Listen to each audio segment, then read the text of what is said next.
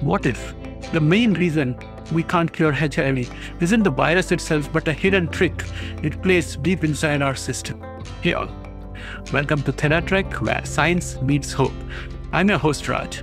Today we are breaking down one of the biggest mysteries in HIV research, the hidden reservoir, and why a gene called BACH2 may be the key to unlocking a cure.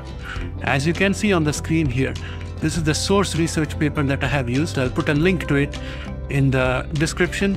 Well, friends, and that's what I have in the long form video, an entire discussion about what the paper uh, explains regarding uh, BACH2 gene and how uh, it enables HIV to become dormant and how we could potentially use this knowledge to come up with a cure for HIV.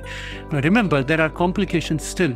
Uh, the BACH2 pathway doesn't seem to uh, have much effect on the glial cells in the brains where uh, HIV may be resident, and uh, they take up uh, residence in the brain within the first two weeks of infection.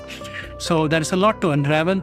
Check out the long form video, and in order to do that, you need to do me a little favor. You have to subscribe to the channel at the very least to watch these videos on an ongoing basis. But most importantly, please become a member of TheraTreck and help us keep the lights on on this channel. And you would be able to see the full form video in the members only section. Thanks, friends. See you soon at TheraTreck.